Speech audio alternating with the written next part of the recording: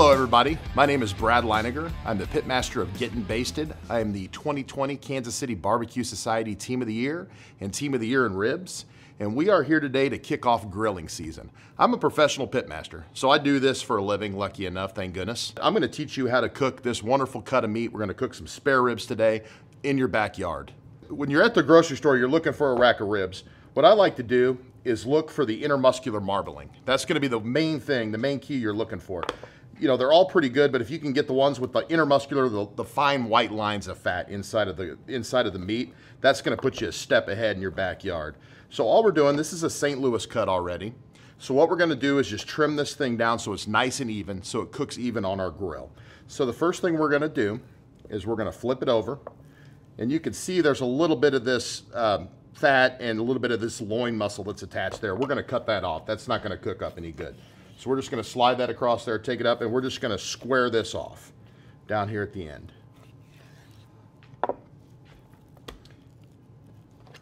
Come in here and just trim a little bit of this fat off the back side. And then this next part is where barbecue wars are started. Do we take off the membrane or do we leave it on? I like to do a little bit of a hybrid. I don't mind having it on there. I like how it protects the rib and it keeps a little bit of the moisture in there. And it also keeps these bones from flying out. As this thing gets tender, it's gonna cook down and these bones wanna pop out. We wanna give, you know, when I'm cooking, I wanna give the judges a good bite. You wanna give your family a good bite of ribs. So we're gonna leave the membrane on the top part. So we're just gonna score it across here. And then if you grab a paper towel, it's really easy. You can just get in there and kind of work that membrane free. And then just give it a pull and that's going to pull that membrane across. If you don't get it all, don't worry about it. It'll generally cook out. You can come back later. You can just kind of flick it off with a knife. Or a restaurant trick a lot of people do is even take this and just score it. And as that thing cooks down to tender, it's actually going to kind of dissolve in there and, and, and get rid of it. But we'll take a little bit of it off today and cook it. Then you can come back here and clean up a little bit. All I'm trying to do is just get rid of any noticeable fat pockets and get a nice even rib.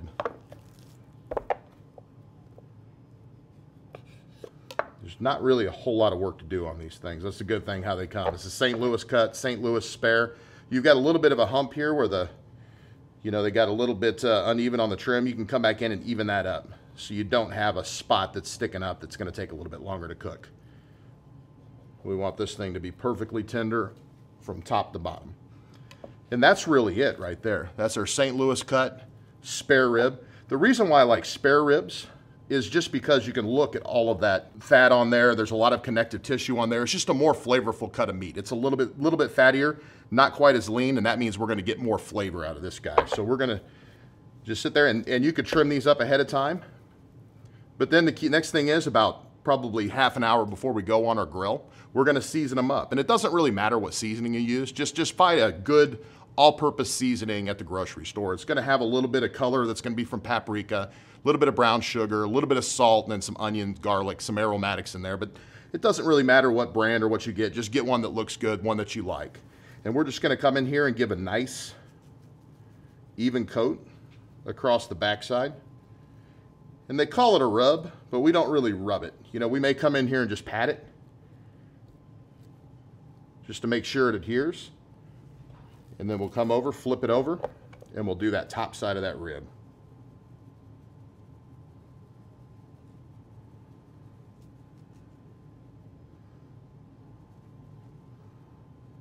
Don't be shy.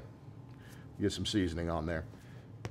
And now all we're gonna do, what's gonna happen is the salts in this is gonna start to pull a little bit of moisture out of the meat and it's gonna liquefy a little bit on top of that meat. And that's gonna take about 30 minutes, 45 minutes.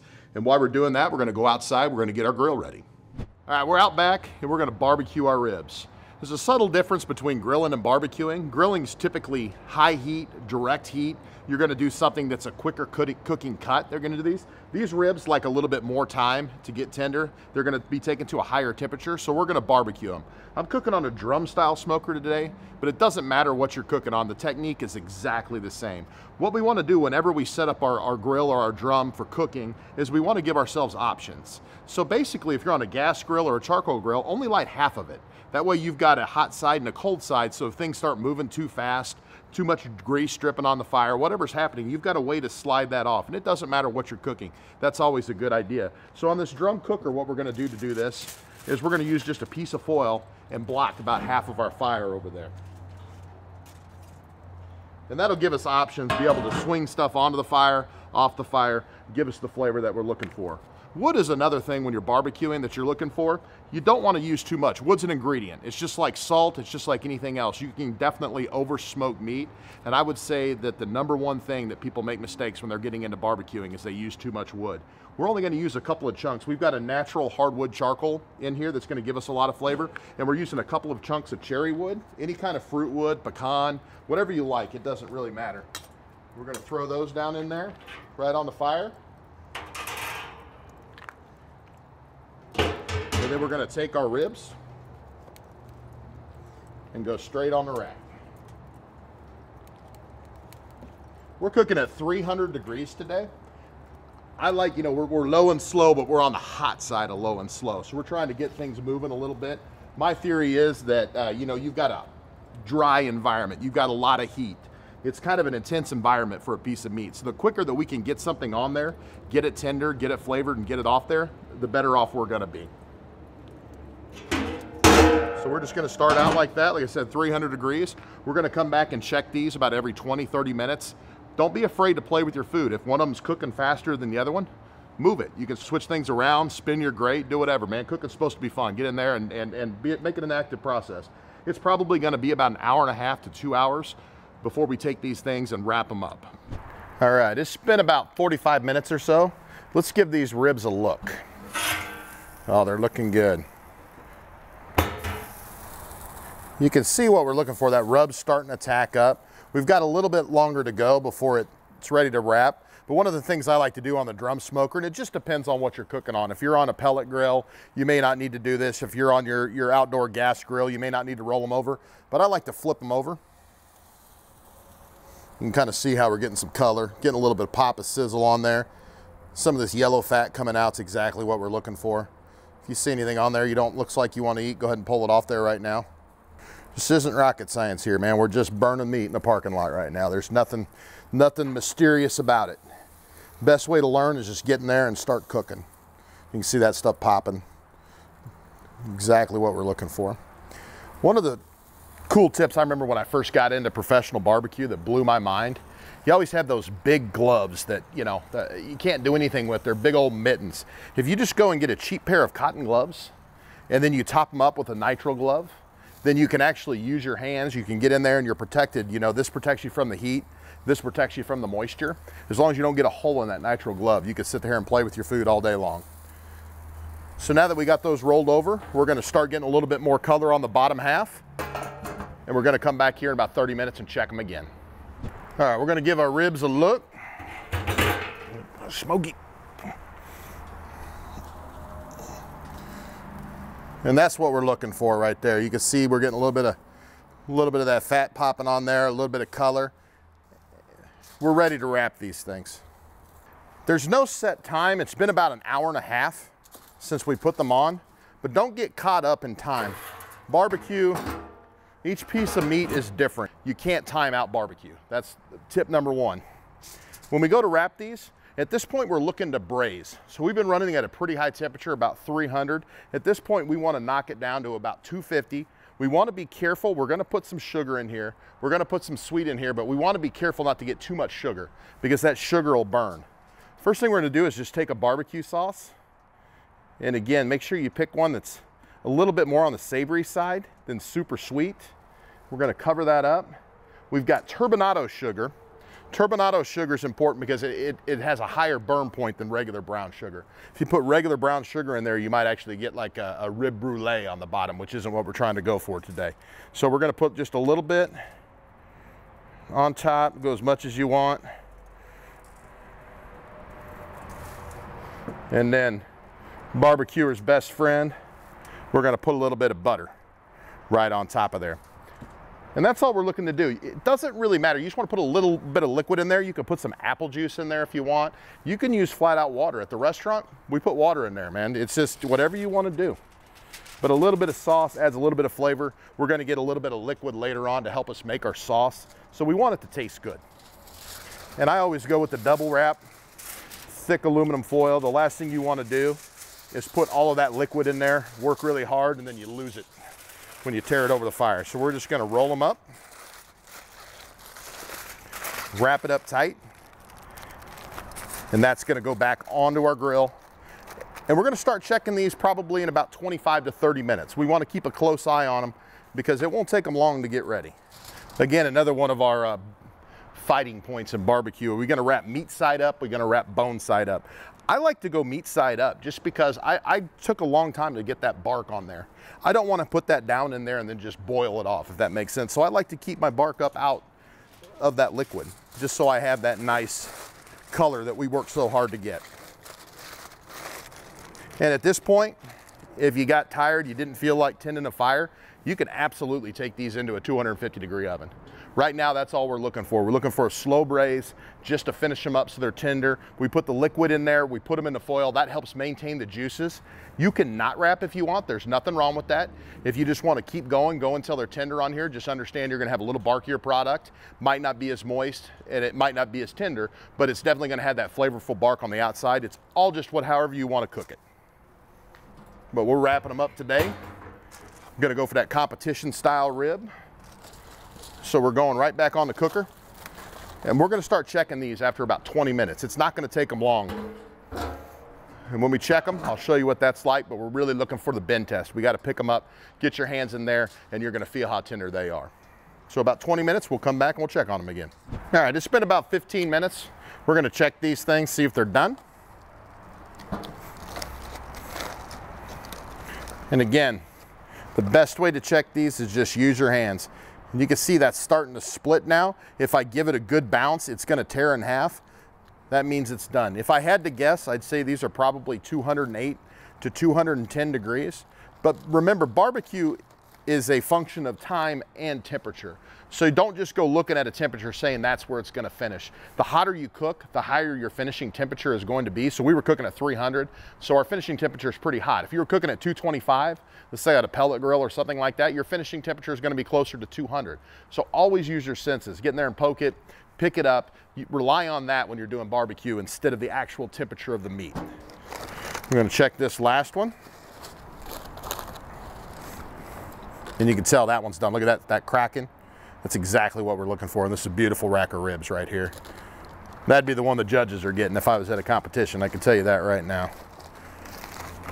So we're gonna take these inside, let them rest. The good thing about barbecue is that it's better the longer it sits. You can actually get this done before your guests get here, drop them into a cooler, or you can wrap them in a towel, put them in a warm oven, and let it sit, and they'll actually get better with time. So the cool thing is we can let them rest, come out here, and then finish them up right when our guests get here. That way we're not under a time crunch. So we're gonna take these in, come back out, and we'll finish them up here in a little bit. All right, when you're ready to finish these, they've been inside resting, just open them up, take them out of the juice, and then I like to put a little glaze on them.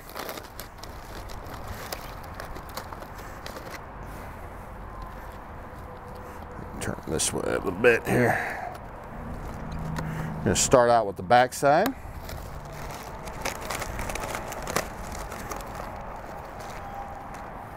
They are tender, so be careful.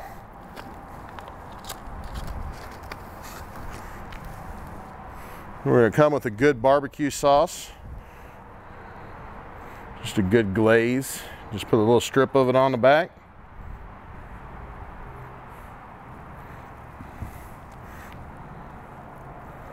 You can always go in for a little juice. Give it a brush.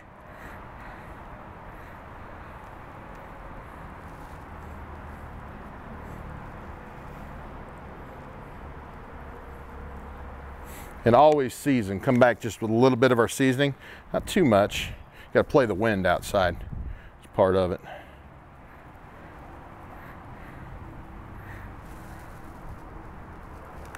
And then these are going to go straight on the grill.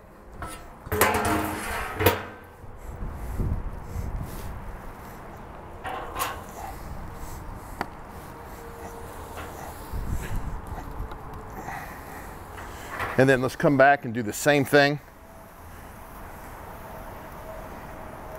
with our top side. And again, we're not looking to set this sauce hard. We're just looking to just glaze it up. So maybe we'll leave them on here for two minutes, three minutes tops. You can already see that shine.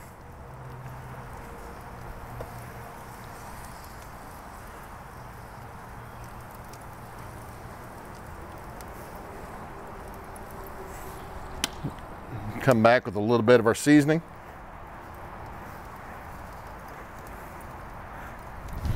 Like I said, a couple minutes tops. Just let that rub tack up a little bit or that sauce tack up a little bit. And we'll come back in, pull them in there, take them inside and slice them.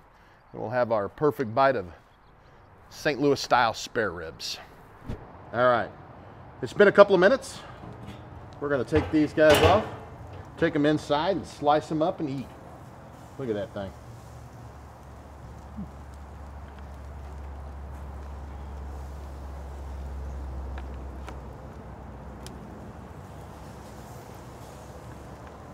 All right. We've got our ribs back in, glazed them up outside. It's time to slice them up and serve them. You can always tell if they're done right just by how they cut. That feels right.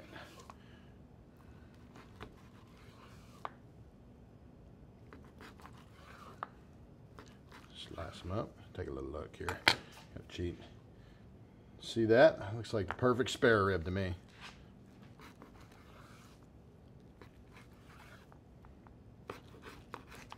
Slice them up. I like to serve these, man. Potato salad is my thing. A little bit of potato salad, maybe some corn on the cob. Get summer going right. I want to thank you guys for joining me today to cook these delicious spare ribs. Hopefully this gives you the confidence you need to tackle this delicious cut of pork.